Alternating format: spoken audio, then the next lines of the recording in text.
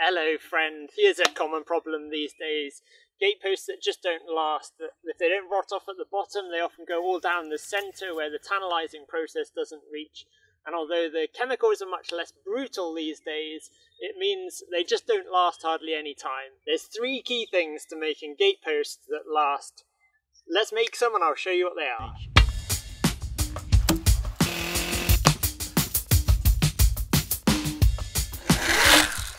The first and in some senses most obvious factor affecting longevity of posts is the material they're made out of. Now in many ways this choice will be determined by where you live, the environmental conditions in your part of the world. What we have available is this honking great log of Welsh oak. We'll talk through some of the other materials and methods as we go along, but for now I want to establish a straight cut on this log and mill some 8 foot lengths.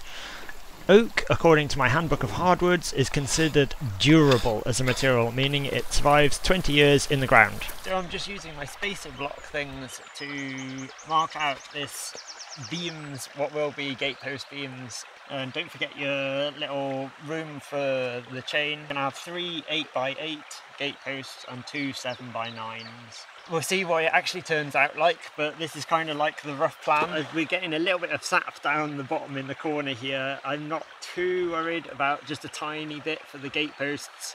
We can always hack it off if need be. Like a lot of woods that are considered durable, the sapwood of oak is still very attractive to insects and bugs and is just much less durable. In the process of chainsaw milling we'll be removing the sapwood and the bark leaving nice solid heartwood.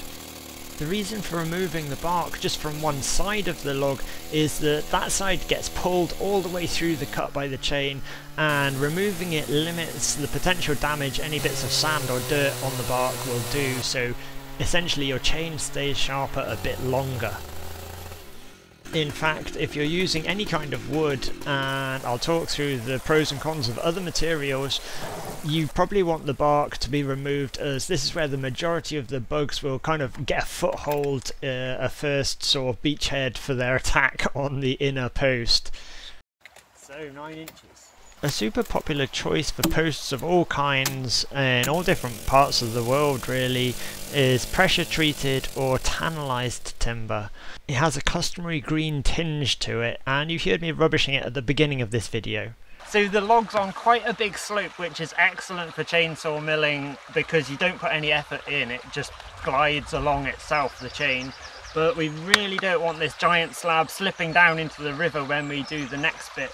So I'm just putting some screws in here and that should hopefully hold it quite sturdily. To create some 90 degree edges on this massive slab we're using the same ladder we used earlier with this exceptionally crude contraption you can see bolted to the chainsaw guide bar it's literally just a piece of round bar with two guides bolted to it and a spacer between that runs along the ladder. This is the first time I've used it and it actually worked quite well. I did discover that the rails of the ladder don't run perfectly parallel down its length which led to some binding shenanigans with that mill attachment but apart from that it worked quite well. Anyway, let's not get distracted. Why else might you choose a wood like oak, cedar, black locust, Osage orange, or any number of other durable woods over some industrially pressure treated pine or spruce? Well, it is cheap, yes, but it just doesn't really last. So unless you really enjoy replacing gateposts and fence posts, it's just not worth it. Some of them don't even last five years. By law in a lot of places in the world, pressure treating chemicals can't contain arsenic anymore, as companies have scrambled to create effective alternative chemical recipes and in the most part failing. There's a lot of variance between what's in the pressure treating chemicals these days, which is why you see variance amongst how long the posts actually last the environmental impact of some of these mixes is not really well known, at least not long term. There we go.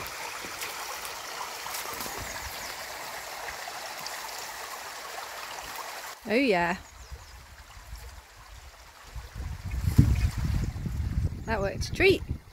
I have a friend who uses pressure treated posts and he feels that he's forced to put creosote on the bottom of them to allow them to last any length of time.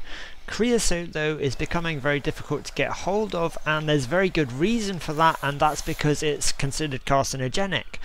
Another thing that you wouldn't necessarily want to proliferate in the environment. Okay, I don't want to make it sound like what we're doing is easy here or possible for everyone. If you watch the video carefully, hopefully you'll get the sense that this actually takes quite a long time. For example, that's two posts, a few other bits and bobs and some slabs, and that was a whole The sun day. was so strong yesterday, you can already see the difference in colour between this side here and this one where the, the sun was covered with that block you saw earlier. So it's quite interesting. The medullary rays on this are amazing. It's a shame to be using it as a gatepost, but needs must. I know what you're thinking. Flowering elbow. What about metal and concrete gate posts? Well, longevity wise, they can actually be a good option. If you are the one who installs them, it's unlikely you're going to be the one to have to replace them. In other words, they'll last a lifetime. My primary bias against them is cost, both in terms of dollar and environmentally. Unlike oak or chestnut or cedar, they neither grow locally or on trees at all. On top of that, they can be a bit fiddlier to install, the holes for hardware or the fence being precast or drilled into the post, so there's that to consider as well. Having said all that, as an off the peg solution, if you don't have any wood like this on your property and you don't want to be replacing posts every 5 to 10 years, it might well be a better option than pressure treated posts. Plastic posts. Plastic's becoming more popular these days for posts, uh, probably purely to prove just how short term humans as species can think. Uh, let me sum it up by saying flimsy junk, lightweight, probably quite convenient for exceptionally short term. UV damage is a problem for them. 2. sends shivers down my spine. Let's talk about moving heavy solid things and tempo. Here's an example.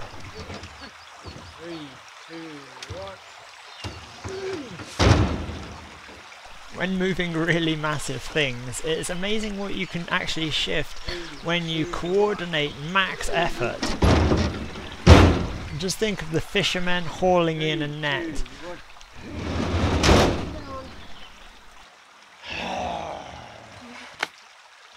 It's sometimes much more about tempo than strength. For example, I could never lift Sam above my head just like that unless we perfectly time our tempo. Anyway, this is probably a slight distraction. We've talked about material and its importance. We've got a bunch of hardwood oak posts. Let's fly on to the second key thing we need to consider to increase their durability. This is all to do with how you treat your posts before you shove them in the ground. This goes together with part one in a sense, in that depending on what you choose will change the way you treat them. If you choose a softwood like spruce that's just not durable at all naturally, you're essentially going to have to drench them and use high pressure to push toxic chemicals in them if you want them to last any time. Lots of dubious things have been tried with them plastic sleeves, bitumen, creosote, all that kind of thing. Some treatments have stood the test of time. Here we're using fire.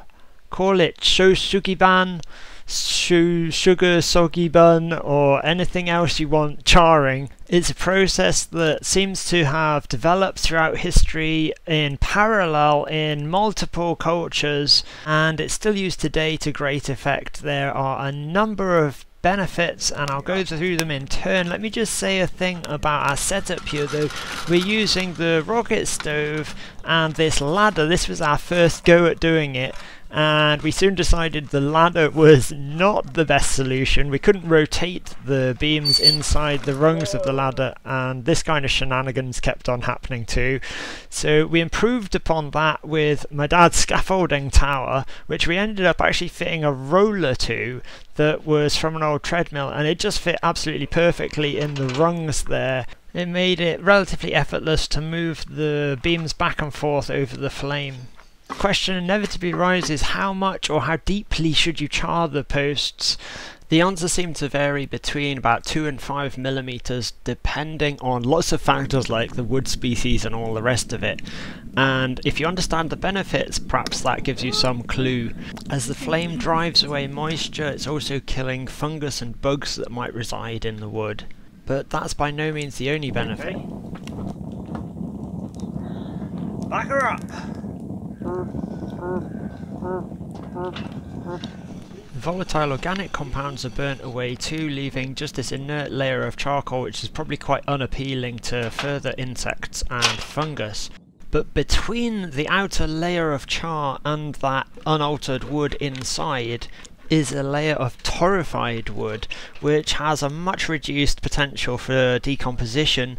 This is the Paleolithic sharpened spear type effect where they found they could get a much harder, more durable point using this torrefied layer that's super desiccated and just slightly altered kind of wood. There's two important points here. One, never try burning pressure treated wood, that'll give off horrible fumes. And two, the process doesn't seem to work well with softwoods. The very outside layer of charcoal can be scraped away, or at least in our experimental rendition of this, this is what we're doing. The theory behind that is that outer layer of charcoal can kind of trap and hold moisture, acting a little bit like a sponge. The rocket stove worked great for this. It was getting dark though and the few patchy bits that we didn't char as deeply as we liked we're just hitting with the propane torch and we sure are glad that we used the rocket stove because that's a lot slower. In our little mini experiment here we're charring three of the six new gate posts and we'll report back in 20 years or so. We've talked about the material and the preservative treatment of posts. Let's move on to the third key thing when it comes to durability. That is the way the post is installed in the ground. We know all too well where posts rot off and it's at that interface between the ground and the air where the topsoil provides the perfect environment for decomposition. We want a couple of big flat stones right at the bottom and so we need to make the hole big enough for that. That's twisted awkwardly, so I'll get in and twist it round. We want to do everything humanly possible to avoid the contact with that organic rotting matter.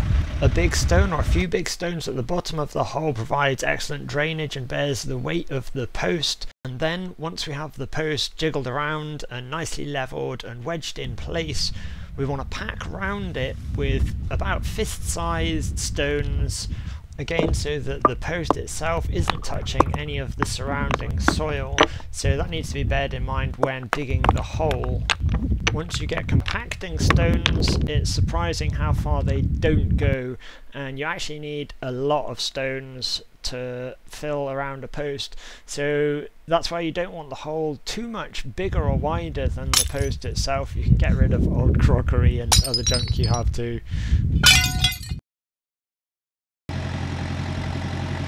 After plenty of hydraulic fettling and fixer-uppery, we've got the old JCB going now. Uh, that'll probably be a subject of a different video, but anyway, it's extremely useful in terms of digging the holes and delivering stones. When you get to the top, here comes the tricky bit as you try and arrange flat, long, big stones to cast the water away from the hole. It's kind of like slates on a roof. Here we are does feel quite sturdy. Ideally these big stones right at the top should also be preventing plant growth and all other organics rubbing on the gatepost and imparting moisture and bugs and other stuff and again should prevent decay a little bit. Because tannins in oak react very strongly with steel, we're just putting a slip of plastic, in this case a yogurt pot, between the post and the receiving latch and that just prevents the black staining you see and the corrosion. This area is actually a joining of three different fields and so we've got two other gate posts we need to replace. This one here is one that hangs that gate you can see in the top left and in the middle you can see the big lump of concrete and there's other bits of concrete in there. They're from a once removed gate post most people think of concrete as quite a poor solution for putting timber posts in in terms of durability, although it is exceptionally rigid to begin with. My own dad put that post in, so it can't have been that long since that one went. There's been a whole other pressure treated post that was just rammed in quite shallowly in that same location. Hopefully this oak post will be there a little bit longer. This is how we're compacting the stones and ramming them into place. The idea is that you do a few inches of extra stone and then you ram that all home, do another layer, ram that down, do another layer, compact it back down and that way by the time you get to the top you've got an absolutely rock solid post. Here we're drilling for the top hook of the gate that will be under tension when it's mounted. Uh, it's quite something to drill such a big hole through, all the way through such a large post. The bottom one of course is just rammed home and that's got to be very tight because it's under compression from the gate.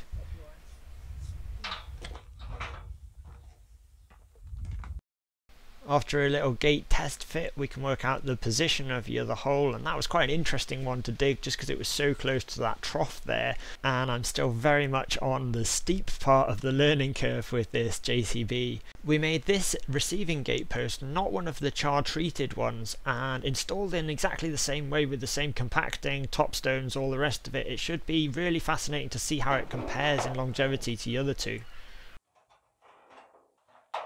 probably isn't necessary in oak, but to stop bird droppings and other things rotting the top and water in general, we're just going to add a little hat.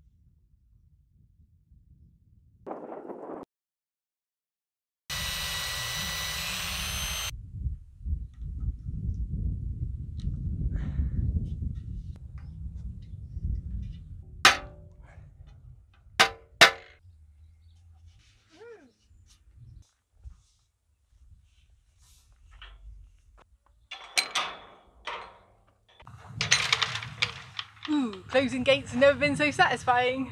Well friends, hope you enjoyed that and got something useful. I bet you've got different ways that you do gate posts or any posts and if so, let us know what they are in the comments and share that. If you haven't then do something in the comments anyway. Uh, bye from Sam and I. See you next time. Subscribe!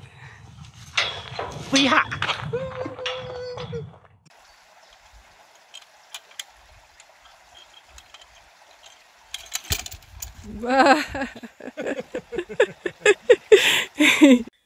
Let's make some gate posts that actually last.